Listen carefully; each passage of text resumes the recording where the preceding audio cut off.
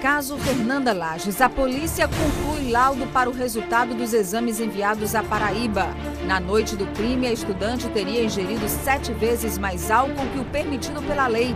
Não foi encontrada nenhuma outra droga no organismo da estudante. O governador Wilson Martins se pronuncia sobre o caso Fernanda Lages pela primeira vez e diz que vai haver punição, doa quem doer.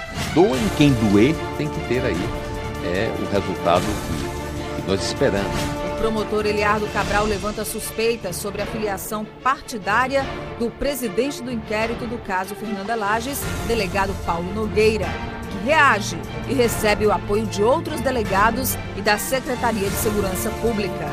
A polícia volta a reconstituir a morte da jovem Fernanda Lages. Do alto do prédio, um boneco com peso e altura da estudante é lançado. Na parte de baixo, um cenário ajudou a simular quatro suposições para o fato.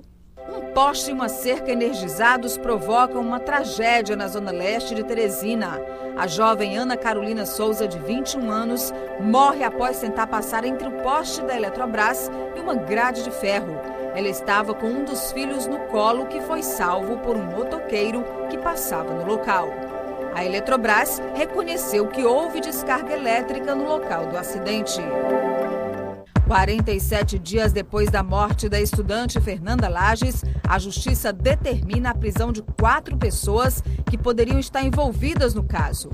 Todos trabalhavam na obra onde o corpo da jovem foi encontrado. A polícia toma depoimento de funcionários e já tem a certeza de que eles sabem o que aconteceu no dia em que a estudante foi encontrada morta. Em seguida, a justiça concede o relaxamento da prisão dos três vigilantes que estavam presos na sede da SICO. Viva Piauí, o futuro que queremos. A TV Cidade Verde leva ao ar um programa com oito debatedores apresentando argumentos para defender um Piauí unido ou a criação do estado do Gurgueia. A discussão ganhou as redes sociais e as praças em cada canto do Piauí. A polícia divulga parte do laudo pericial e revela que oito manchas foram encontradas no corpo da estudante Fernanda Lages. O Ministério Público faz investigação paralela após receber inquérito sem conclusão da Polícia Civil. Antes de passar o caso para a Polícia Federal, os promotores ouviram testemunhas, autoridades e possíveis investigados. Provas do Exame Nacional do Ensino Médio são aplicadas em todo o país. Piauí, o ventilador caiu e atingiu a cabeça de uma candidata. Destruição. Um incêndio de grandes proporções atingiu o centro administrativo em Teresina. O prédio onde funcionava a Secretaria de Saúde do Estado, a Controladoria Geral do Estado e a Secretaria de Desenvolvimento Econômico foi tomado pelas chamas. Documentos importantes do governo foram perdidos. Os três andares do prédio foram totalmente destruídos pelo fogo. O governador Wilson Martins pediu explicações para o incêndio. Novos locais de atendimento são definidos pelo governo para três secretarias atingidas pelo fogo. Uma entrevista que emocionou o Piauí. Pela primeira vez depois do acidente, o jornalista Amadeu Campos fala aos piauienses. Com certeza, e com fé em Deus, estarei de volta ao Jornal do Piauí na TV Cidade Verde. Jornalista Amadeu Campos embarca para Brasília, onde iniciaria o tratamento de reabilitação no Hospital Sara Kubitschek. Vai dar tudo certo. Adolescentes internados no Centro Educacional Masculino tentam fugir e iniciam uma rebelião. Móveis foram quebrados e até colchões queimados. Equipes da polícia foram chamadas para conter os internos. A TV Cidade Verde mostrou com exclusividade como ficou o local depois da rebelião. É encontrado o corpo do fotógrafo Delson Castelo Branco. Ele ficou 31 dias desaparecido. Corpo foi localizado no Matagal, próximo ao conjunto Tancredo Neves. Para a polícia, ele caiu da ponte depois de se envolver em um acidente. A Polícia Federal recebe autorização do Ministério da Justiça para investigar a morte da estudante Fernanda Lages. Os promotores Eliardo Cabral e Ubiraci Rocha acompanharam o início dos trabalhos.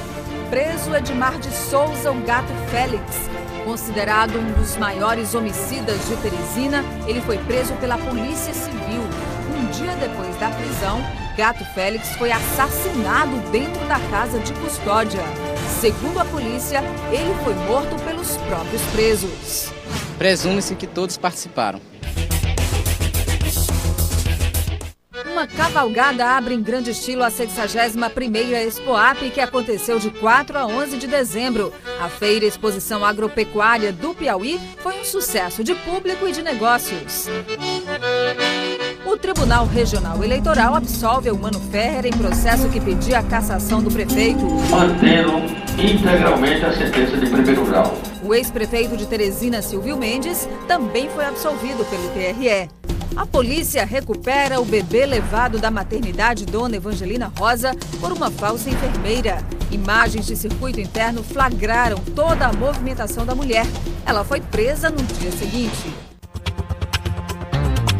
A judoca Sara Menezes é eliminada na primeira luta diante de mais uma japonesa no principal torneio antes de Londres 2012.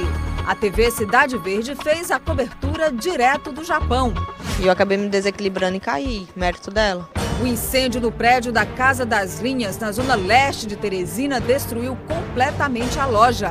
O prejuízo foi avaliado em mais de 10 milhões de reais.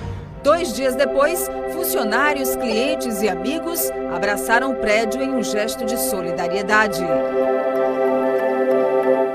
A TV Cidade Verde emociona o Piauí em mais um programa especial. O Natal da cidade mostrou a importância das famílias. Em cena, famílias que representavam a união e a harmonia. A presença do jornalista Amadeu Campos foi uma grande surpresa no especial de Natal. Eu só estou aqui hoje por causa de vocês. De vocês, dessa, eu vou, vou chamar de pequena família. Eu digo pequena porque eu, eu tenho uma grande família, que são vocês.